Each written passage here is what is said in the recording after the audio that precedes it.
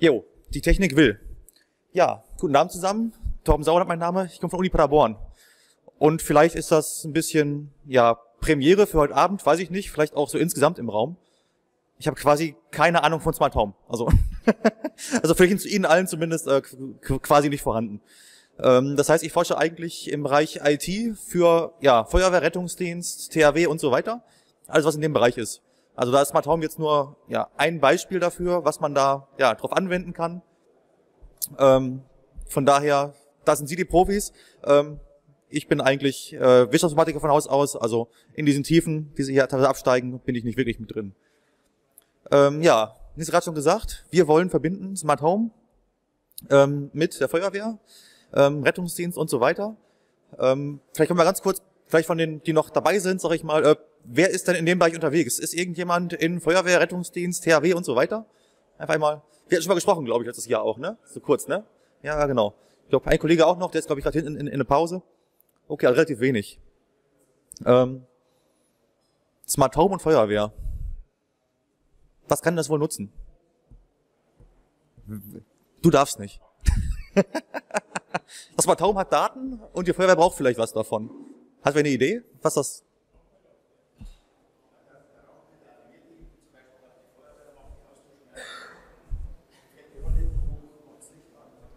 Genau sowas. Alarmierung, Rollläden aufmachen, Haustür aufmachen. Ähm, genau da sind wir unterwegs. Das heißt, wir wollen gucken, einerseits, welche Daten können wir nehmen aus dem Smart Home und die sinnvoll ja, nutzbar machen für Feuerwehr, Rettungsdienst und so weiter und so fort.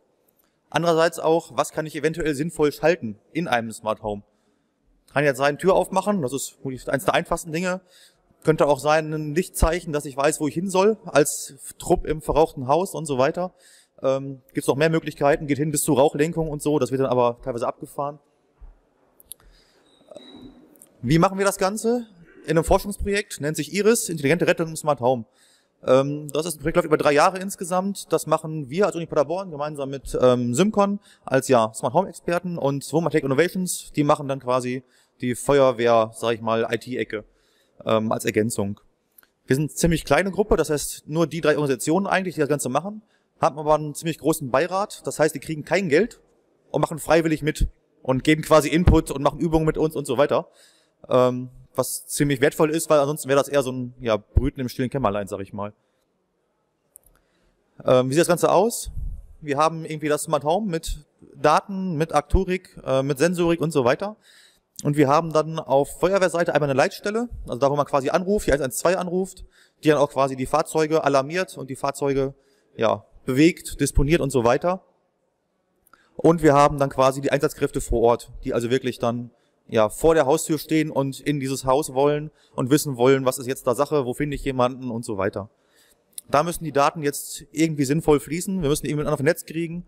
Ähm, genau. Das wollen wir uns einmal angucken in so einem kleineren Prozess. Das heißt, ich muss ja irgendwie anfangen und schauen, ich brauche irgendwie eine Grundlage, damit ich das machen kann. Ähm, was kann so eine Grundlage sein in der Vorbereitung des Ganzen? Das eine ist sowas wie äh, Haftung und Rechtsfragen und so weiter und so fort. Da kümmern wir uns gemeinsam mit dem ähm, Bundesamt für Bevölkerungsschutz und Katastrophenhilfe drum. Das ist eher, glaube ich, irrelevant für hier. Das ist eine Folie, habe ich von Nils geklaut. Ähm, dann brauchen wir irgendwie, wir brauchen irgendwie eine, eine Grundlage. Also was sehr Spannendes ist zum Beispiel für die Feuerwehr, allein einen Grundriss zu haben. Das heißt, wo ist denn hier was? Wo bewege ich mich hier überhaupt, wenn das da verraucht und dunkel ist und so weiter. Und dann muss ich ja irgendwie wissen, okay, wo habe ich, ja, vielleicht ein Kinderzimmer, wo habe ich vielleicht Besonderheiten und so weiter und so fort. Ähm, da hat ja Simcon angefangen und so halbautomatisiert eine EFC-Datei auszulesen, das heißt so ein Building Measurement Model, das sind so Grundlagen von so einem Gebäude quasi mit drin. Dass man so grob weiß, okay, falls es sowas gibt, so und so sieht mein Haus aus. Muss nicht die einzige Lösung sein, man kann es auch quasi per Hand nachbauen, theoretisch, dass ich grob einen Grundriss habe, aber habe ich quasi eine Grundidee, wie das Haus aussieht. Und dann muss ich in dieses Haus hinein ja irgendwie jetzt meine Smart Home Geräte verorten. Das heißt, wenn ich irgendwie Daten auslesen will, sinnvoll, dann muss ich ja wissen, wo befindet sich ein Bewegungsmelder, ein Rauchmelder, ähm, Kamera und so weiter und so fort. Das Ganze wird man dann durchaus noch händisch ergänzen müssen. Da bauen die Kollegen gerade auch ähm, dran rum, wie man das quasi anschließend so sortieren kann, dass es wirklich hinterher nutzbar ist. Wenn wir es einmal geschafft haben und haben so eine Datengrundlage ähm, hinbekommen, dann habe ich eigentlich einen Überblick über dieses ähm, Smart Home als Gebäudestruktur insgesamt und auch über ja, verbaute Sensorik, Aktorik und vielleicht Besonderheiten wie genau sowas wie ein Kinderzimmer ähm, und so weiter und so fort. Vielleicht eine Gasleitung und so. Ach so, ähm, wenn Fragen sind, gerne unterbrechen. Also ich komm, in so Flow komme ich immer wieder rein. Also ich muss jetzt nicht durchgehend, nicht durchgehend reden. Gerne einfach kurz fragen oder so. Das ähm, immer her damit. Jetzt haben wir irgendwann ein Schadensereignis. Ähm, ja, das heißt zum Beispiel unten links bricht ein Feuer aus. Was passiert dann? Ich muss es irgendwie detektieren. Ähm, da gibt's verschiedene Punkte. Irgendwie heute, okay, gut, Rauchmelder piept. Super. Teilweise gibt's schon aufgeschaltete Rauchmelder, die dann auch quasi Dinge, Dinge melden. Ähm, ist schon, ja, teils gut, teils schlecht. Teilweise freut man sich über zu viele Fehlalarme, weil das Ganze nicht funktioniert. Teilweise ist es ähm, ziemlich praktisch. Ähm, wir gucken da, was ist da noch möglich, detektionsmäßig. Das heißt, ähm, die Hauptschwerpunkte ja, sind einmal Personen, das heißt, im ersten Schritt ist oder war jemand zu Hause vor kurzem noch oder steht die Wohnung seit acht Wochen leer und ich kann halbwegs sicher sein, okay Leute, ähm, ist vermutlich keiner drin, die, die gehen trotzdem durch und gucken trotzdem alles nach, aber es ist ein ganz anderes Herangehen und eine ganz andere ähm, Haltung, sag ich mal. Und der zweite Schritt wäre dann extrem spannend, ähm, sowas wie raumscharf oder mit so einem Stockwerk scharf, zu wissen, wo befand sich zuletzt eine Person. Kommen wir gleich drauf, dass das für die Feuerwehr ähm, extrem wichtig ist, so Informationen zu haben, kann man sich, glaube ich, auch ziemlich einfach denken. Das zweite sind Schadensereignisse. Das heißt, kann sein, es ist ein Feuer ausgebrochen, kann sein, wo ist es verraucht, welche Bereiche, wo kann ich nicht mehr durch, wo können auch die Flüchtenden vielleicht nicht mehr durch. Ähm, ja, ist jemand gestürzt, gibt es einen Kurzschluss und so weiter. Unser Fokus liegt auf Feuerrauch, die Ecke. Ähm, das ist natürlich auch interessant, was quasi an Schadensereignissen so ausgelöst werden kann. Habe ich das detektiert, dann kann ja so ein Smart Home, muss ich Ihnen nicht erzählen, tendenziell schon selbst was tun. Ähm, das heißt automatisch reagieren und Dinge machen. Da gibt es, vermutlich könnten Sie mir das mehr erzählen als ich Ihnen, diverse Ansätze, sowas, man sagt, man macht alle Rollläden hoch oder man macht alle Fenster, die man auf Kipp stellen kann, stellt man auf Kipp. Gibt es, glaube ich, diverse Ansätze zu. Man leuchtet, blinkt, das Haus blinkt schon mal, damit ich als Feuerwehr sehen kann, visuell, ach so, da muss ich hin. Ähm, okay, Rauchmelder piept oder Sirene piept, wie auch immer. Sowas Grundlegendes ist, ist, ist vorhanden. Ähm, was wir jetzt machen wollen, ist das Ganze erweitern. Das heißt, wir sprechen jetzt mit Feuerwehren, mit Verbänden, Installationen und so weiter und gucken nach, ähm, wie kann man sowas in komplexe Aktionen umsetzen. Das heißt, ein reines Piepen sagt mir als Bewohner noch nicht so viel. Sagt mir eigentlich nur, okay, Leute, irgendwas ist hier jetzt los. Teilweise wird einfach ignoriert mittlerweile. Und Piepen ist halt, mein Gott, es piept schon wieder, ja, gut, danke auch. Ähm, das könnte man auch Liter machen. Könnte sagen, okay, bleibe in deinem Schlafzimmer und gehe ans Fenster und winke. Oder gucke doch mal in die Küche nach und gucke, was da los ist. Oder geh zum Treppenraum A und geh dann nach unten, wenn man jetzt Mehrfamilienhaus denkt. Ähm, man könnte umliegende, umliegende Wohnungen warnen, logischerweise, wenn man jetzt an mehrere Smart Homes denkt, die quasi nah beieinander sind. Und spannend wird es dann wirklich bei komplexen Aktionen. Das heißt, sowas wie die Haustür öffnen und Fluchtweg schaffen, eventuell auch ja, Dinge schalten zwischen Gefahrenquelle und Person. Das heißt, ähm, ich habe einen Brandausbruch in Zimmer A, ähm, Personenlicht irgendwie, weiß ich nicht, drei Räume entfernt. Jetzt könnte es rein taktisch durchaus Sinn machen, dass man sagt, okay, wir schließen das eine Zwischentür, sodass der Rauch quasi nicht darüber ziehen kann und die, die Person nachher an Rauchvergiftung stirbt, sondern dass einfach das Feuer in sich bleibt und das da vor sich hin, hinbrennt, das ist nicht weiter schlimm. Und die Person quasi dann ja weniger mit Rauchgas beaufschlagt wird und dann besser gerettet werden kann. Ähm, da sind noch diverse andere Ideen, was man alles machen könnte und die Vielfalt ist, glaube ich, relativ breit. Ähm, das hier sind jetzt immer so kleine Videoschnipsel von unserer ersten Übung, die wir im Juni gemacht haben. Das heißt, da haben wir erstmal so, ja, halb gefaked, sag ich mal. Das ist ein Smart Home in Paderborn, wo es einfach so eine automatische Schiebetür gibt, auf terrassenseitig, ähm, dass man sagt, okay, wir machen halt jetzt die Tür auf. Das ist simpel, was wir so gezeigt haben. Mein Gott, das wäre der erste Gedanke. Ähm, klingt trivial, ist aber, wenn man an diese teureren Häuser denkt, wo Leute wirklich Geld investiert haben, um einbruchsicher zu sein, ist das gar nicht so verkehrt, weil dann braucht auch die Feuerwehr teilweise ein bisschen länger, bis sie da reinkommt. Es kann sein, dass man ein Fenster noch 50 einschlagen kann, aber die Haustür ist dann schon mal nicht mehr so einfach ähm, mal eben zu öffnen. Dauert teilweise dann wirklich ja und Zeitverschwendung. Danach geht's weiter Richtung Alarmierung. Ähm, das heißt, bisher ist das meistens so, dass ein Rauchmelder irgendwo piept und dann geht irgendjemand, Nachbar, man selbst, sonst irgendwer her, nimmt ein ja, Handy raus und ruft die 112 an und erzählt so grob, was da Sache ist. Baut garantiert mindestens fünf Fehler ein und übertreibt oder untertreibt und die dürfen interpretieren und dürfen versuchen, das richtige Haus rauszufinden und die richtige ja, Einheitenzahl dahin zu schicken. Aufgrund von, da ist irgendwas Rauchendes und dann war es nachher nur ein Gartenfeuer. Oder aber das war schon alles im Vollbrand und der Kollege hat gesagt, ja, da ist so ein bisschen, äh, fahr doch mal in die Richtung. Das könnte man natürlich mit so Daten, die man einfach simpel hinterlegen kann, wesentlich verbessern. Mit so einfachen Dingen wie der korrekten Adresse. So doof es klingt. alleine so eine Information ist schon extrem wichtig. Und GPS-Punkt. Man sagt, okay, äh, da muss ich hin. Klingt trivial, ist aber definitiv nicht so unwichtig. Es gibt durchaus Geschichten von zwei Hauptstraßen, die auf zwei Seiten eines Flusses lagen. Die Feuerwehr war hier. Und dazwischen war ein Fluss ohne Brücke und die Brücke war viel weiter weg und da war der Brand. Äh, das, sind triviale Dinge, aber sowas ganz Einfaches kann schon helfen. Ähm, ergänzbar, ne? Um einen Lagerplan, um ein Foto, um einen Bauungsplan, wo das ist und so weiter. Ähm, sodass man die Information relativ gut rüberbekommen kann zur quasi Gefahrenabwehrseite. Vorher kann man noch weiterdenken, da ist auch Symcom gerade unterwegs, ob man vielleicht vorher erstmal ähm, eben zwischenschaltet, also erstmal Verwandtschaft, Nachbarn und so weiter alarmiert, nicht selbst aufs Handy, in Kameras guckt, um nicht gleich ja, die große Alarmierung zu starten, sondern langsam anzufangen. Ähm, wie kann sowas aussehen? Ähm, das da ist bei uns eine Leitstelle in Paderborn quasi. Es gibt ja in gewerblichen Gebäuden schon länger Brandmeldeanlagen, wo man dann ja die Informationen automatisiert einspielen kann. Da gibt's das alles schon, da gibt's ähm, Gebäudepläne, da gibt's Raumpläne und so weiter. Das könnte man hier genauso machen, könnte es beispielsweise auf so einer Schnittstelle aufspielen lassen, sodass ich nicht telefonieren muss, sondern bekomme automatisch meine Meldung. Bekomme dann die korrekte Adresse und vielleicht auch schon so eine Information wie, ähm, ich vermute, da ist noch eine Person drin.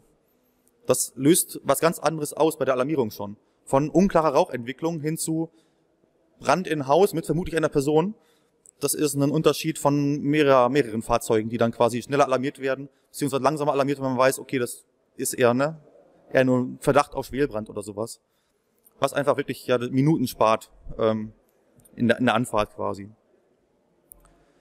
Bei der Anfahrt geht's weiter. Wenn die unterwegs sind, ihre zwei bis fünf Minuten, sag ich mal, ähm, im Fahrzeug, kann man sich schon Gedanken darüber machen, als Einsatzleiter mindestens, was ist da Sache, ähm, wie gehe ich da ran, wo habe ich Zugänge, ähm, was finde ich überhaupt vor den könnte ich halt dieselbe Meldung zur Verfügung stellen wie in der Leitstelle. Ich könnte sagen, okay, da ist es und so sieht es da aus.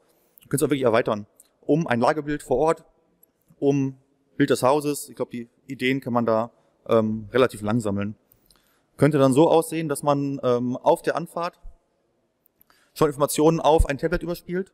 Feuerwehren haben mittlerweile relativ häufig, nicht durchgehend, garantiert nicht, auch von Tablets in Einsatzleitwagen, die E-Mail geführt werden, zwecks Informationen äh, für andere Programme und so weiter wo man einfach mal grundlegende Infos darstellen kann. Nicht viel, die haben nicht viel Zeit, die brauchen nur die Kerninformationen, wo sind meine Zugänge, wo kann ich parken, ähm, worauf muss ich achten, was sind vielleicht Besonderheiten. Aber dass man schon mal quasi ja die Denkarbeit starten kann, Lagererkundung starten kann, bevor ich vor Ort bin. Stichwort Lagererkundung ähm, ist bisher ja ein relativ böses Phänomen, dass ich als Feuerwehr vor so einem Gebäude stehe und habe dann eine Blackbox. Das heißt, ich sehe nur, es kommt oben irgendwo Rauch raus und viel mehr weiß ich nicht. Lebt da jemand drin? Wenn ja, wie viele? Wie lange wohnten die da drin? Keine Ahnung. Ähm, das heißt, die Leute laufen rum, fragen Passanten, fragen Nachbarn, fragen Hausmeister. Mit Glück weiß ich schon was, weil ich Leute kenne, wenn ich auf dem Dorf bin, ein bisschen öfter als in der Stadt. Das kann man natürlich wesentlich erweitern. Das heißt, wenn ich jetzt hergehe und kann wirklich eine Anzeige machen, mit auf Wunsch ähm, Grundrissen der einzelnen Stockwerke, mit Zugangspunkten, wo ich in dieses Gebäude hineinkomme, mit der Vermutung, links oben war eine Person und rechts unten habe ich einen Brand detektiert. Das ist ein, ja, wenn man sowas zuverlässig hinbekommt, ja, ein Traum für die Einsatzleitung für Feuerwehr. Das ist, das ist ja mega gut. Angenommen, unsere Datenübertragung klappt nicht über die Leitstelle oder ich will die Daten gar nicht in die Welt schicken, weil ich Sicherheitsbedenken habe. Dann könnte man auch her und könnte das Lagerbild quasi erst live vor Ort updaten, indem ich einfach erst ab einem Brand, ab einem Brandmeldung quasi ein WLAN aufbaue. Baue ein eigenes WLAN kurz auf, ist ja nicht, kostet ja nicht die Welt, gebe da ein ja, Passwort mit an, was ich dann wirklich nur der Feuerwehr gebe, beziehungsweise sie hat das hinterlegt oder wie auch immer. Kann man sich jetzt im Detail überlegen, wie es aussehen könnte. Und kann die Daten so einfach nur vor Ort rausspielen. Die 10 Meter würde schon reichen. Ich muss das Ganze gar nicht irgendwo hinschicken. Was heißt das? Die Firma Wometech ist auch dabei, habe ich gerade erwähnt. Die bauen für ein Tablet eine Anwendung. Das hier ist ein Prototyp von, ja, von ein paar Monaten, glaube ich. Das heißt, dass man grob sieht, okay, hier ist ein Lageplan, hier sind meine Zugänge auf der linken Seite, hier sind Aktoren, die kann ich schalten, wenn ich dann möchte. Ähm, ja, wo komme ich rein, wo vermute ich eine Person, wo vermute ich ein Feuer. Das wird dann am spannendsten bei einer Bewältigung. Das heißt, wenn die Feuerwehr vor Ort ist, ähm, dann ist bisher, wenn Sie die Vorgehensweisen kennt, man weiß nicht, wo da Person drin sein sollte. Das heißt, ich will alle Räume absuchen, möglichst gleichmäßig. Das heißt, ich fange im Zweifelsfall links rum an und gehe links rum mit meiner Hand an der linken Wand einmal so durch alle Räume. Wenn es verraucht ist, im Kriechgang mit einem Schlauch und einem zweiten Kollegen und relativ langsam, weil ich robbe da durch die Gegend. Das heißt, so ein Haus abzusuchen, das geht nicht in zwei Minuten, das dauert dann eher 20, bis ich so ein Haus komplett durchsucht habe in allen Ecken. Auch wenn ich schnell da war, bringt mir das auch nicht, solange wirklich verraucht ist. Bei weniger Verrauchung, klar, komme ich viel schneller vorwärts. Ja, ähm, vermutlich eine der ja, abgefahrensten Ideen des Ganzen, wenn ich wirklich sowas sinnvoll schalten kann und kann mir den Weg, wenn ich weiß, wo die Person ist, ja, schon mal vorzeichnen. Ich muss nach rechts oben und fange da an. Weiß, oben rechts ist die Person, dann gehe ich erst dahin, hole die Person raus, wenn ich eine finde, suche danach den Rest des Gebäudes genauso ab wie immer. Ähm, ja, gibt einen Zeitgewinn von mehrere Minuten, je nachdem, wo dann die Person ist und wo man dann sich dann befindet. Ich kann auch hergehen und kann quasi meinen Rettungsweg schon mal rauchfrei machen. Alleine, wenn ich nicht hochkriechen muss oder langsam gehen und mich sterben, sondern ich kann ja zwei Stufen auf einmal nehmen kann nach oben gehen. Ähm, ist das schon ein wesentlicher Unterschied zum, zur normalen Vorgehensweise. Heißt, wir hatten auch die Übung dann in Paderborn, wo wir es gemacht haben, wo die Feuerwehr dann quasi mit Tablet-Informationen durchgegangen ist. Hier war noch ein alter Prototyp, wo man quasi jetzt das rote, da war das Feuer, das gelbe war die ähm, Person, die vermutet wird, also raumscharf. Und die wurden dann quasi im Einsatz genutzt, die Daten. Das heißt, also in der Übung genutzt. Das heißt, die Einzelheit hat quasi das in der Hand gehabt, konnte dann ihren Leuten erklären, okay, hier ist der Grundriss, wir gehen hier rein, da hinten rechts ist der Raum, da müsst ihr rechts abbiegen. Was den Leuten, die da reingehen in diese, ja, ins unbekannte Welt, ein ganz anderes, ganz anderes Bild der Umgebung gibt. Ich weiß, wo ich bin, ich weiß, wo, wo Türen sind ähm, und so weiter und so fort. Ja, so dass ich hoffentlich zu, zum Ende des Ganzen einen wesentlichen Zeitgewinn ähm, bekommen kann zur, ja, zum normalen Einsatz, sag ich mal so.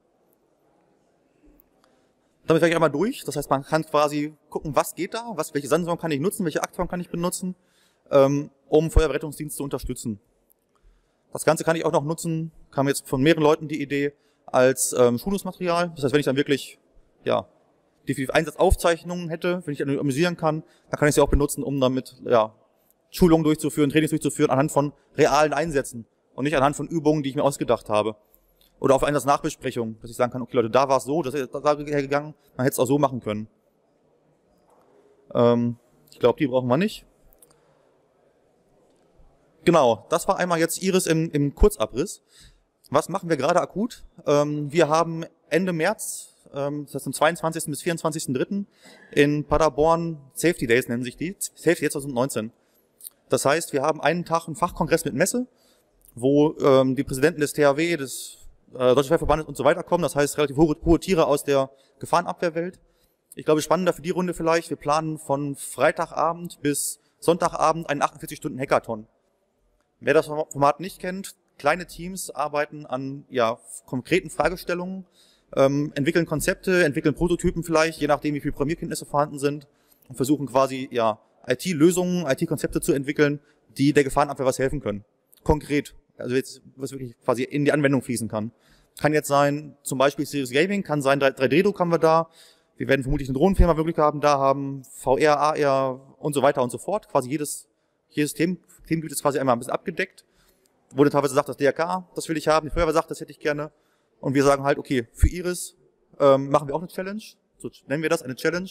Das heißt, wir werden da eine Smart Home Challenge machen, wo Symcon quasi auch mit vor Ort ist, wo Humatech mit vor Ort ist, wo wir gemeinsam ja in einer kleinen Gruppe von acht, zehn, zwölf Leuten versuchen wollen, Feuerwehrler, die liefern wir zu, die gibt's bei uns, oder Hilfsorganisationsleute zusammenzubringen, ja, mit IT-Experten. Das heißt, in, für die Challenge idealerweise Smart Home Experten, das heißt, sie sind direkte Zielgruppe, ähm, ja, um gemeinsam daran zu arbeiten, was können wir hier einen Schritt weiter machen. Wir haben gestern angefangen zu fachsimpeln darüber, was wir konkret machen können, sind dafür Vorschläge im Offen, was man da konkret vor Ort machen könnte, aber wir waren jetzt dabei, dass man eventuell überlegen könnte, welche Regelungen könnte so ein Smart Home wirklich automatisch treffen. Das heißt, da braucht man sowohl das Fachwissen dafür, das Fluchtwege, Rettungswege, ähm, Feuerwehrtaktiken, wie könnte das funktionieren, als auch das Know-how, okay, was geht überhaupt technisch? Was ist da möglich? Was könnte man machen? Das heißt, wir könnten gemeinsam arbeiten, wie könnte sowas aussehen, welche Regeln könnten wir umsetzen und sowas auch in den Prototypen reinbasteln. Wir haben so ein 3D-Simulationstool gerade am, am Umprobieren, dass man wirklich danach sieht, okay, wenn ich die Regeln befolge, dann passiert das und das, wenn ich die Regeln befolge, passiert das und das. Ein Beispiel kann auch was anderes sein. Genau, das Ganze sind irgendwie ähm, drei Tage im März bei uns. Ja, wenn da jemand Interesse dran hat, dann gerne gleich, ich bin noch eine Weile hier, ähm, mit Fragen zu löchern oder jetzt, jetzt gleich kurz in, in der Runde ähm, Fragen stellen. Ähm, wir freuen uns über jeden, der kommt, der mitmacht. Wir glauben, es wird ganz witzig. Also, da wir die Gefahrenabwehrseite schon auf sehr ja, hohem Level dabei haben, suchen wir jetzt quasi IT-Experten jeweils dazu zu holen und würden uns ziemlich freuen, wenn wir da ja, Iris-mäßig oder Smart Home-mäßig eine witzige Challenge ähm, hinkriegen können. Ich bin durch. Wenn jemand Fragen hat, ähm, gerne her damit.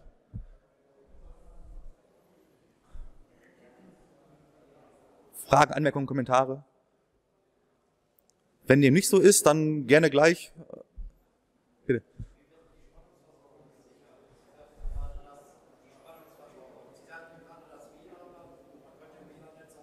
Hm?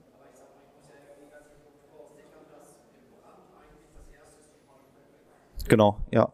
Ähm, das sind spannende Fragestellungen. Das, also erster Gedanke, ähm, erste Variante ist, dass man die Daten einmal während noch quasi der Brand redigitiert wird, dann einmal einen Snapshot macht, also quasi einmal den Status Quo erfasst, wo habe ich Brand, wo habe ich Personen und schickt die Daten schon mal zur Leitstelle, sodass ich schon mal sicher habe, egal was quasi danach passiert. Ob irgendwas rausfliegt, sonst irgendwas, ist mir dann anschließend quasi egal. Ähm, wenn man es sicher haben will, dann bräuchte man irgendeine USV, sonst irgendwas. Das ist die einzige Variante, die mir einfällt um wirklich dann dauerhaft das aufrechterhalten zu können, um Live-Daten zu bekommen. Also, wenn man live vor Ort bleiben möchte. Ähm, dann gibt's auch einen spannenden